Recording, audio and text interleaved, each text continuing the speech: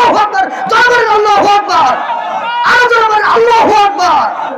আল্লাহর বান্দির ইমানের পর এতটা বেশি, গোটা বিশ্বকে দেখাই দিলেন, ও বিশ্ব, ও বিশ্বর মুসলিম জাতি, তোমাদের সামনে আল্লাহর নামের অপমান করা হয়, আল্লাহর কালামের অপমান করা হয়।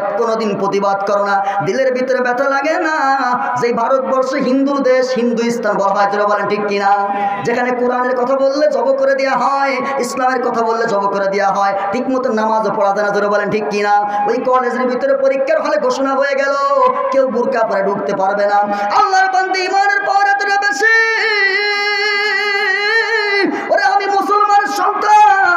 আমার ইমান আছে, আমার আল্লাহ আছে, আমার সাথে। আমি বোরকা চাই না।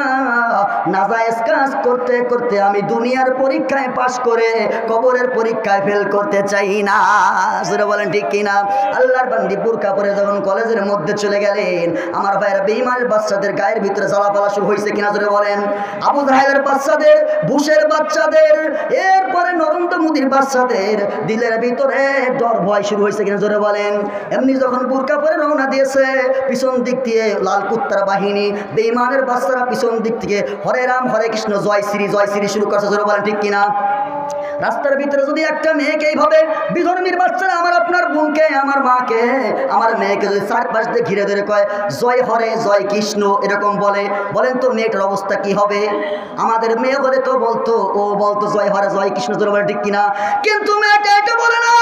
মেয়েটা ডাইরেক্ট জবান খুলে বলে, আল্লাহ আকবার আল্লাহ আকবার জয় বলেন, আল্লাহ আকবার। আরও জয় বলেন, আল্লাহ আকবার।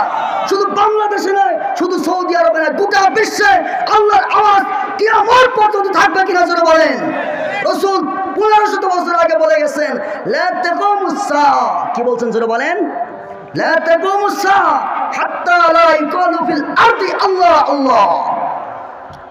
বাণী বলছেন ততক্ষণ পর্যন্ত ধ্বংস হবে না, যতক্ষণ আল্লাহ ধ্বনি পৃথিবীতে থাকবে জোরে বলেন ঠিক কিনা।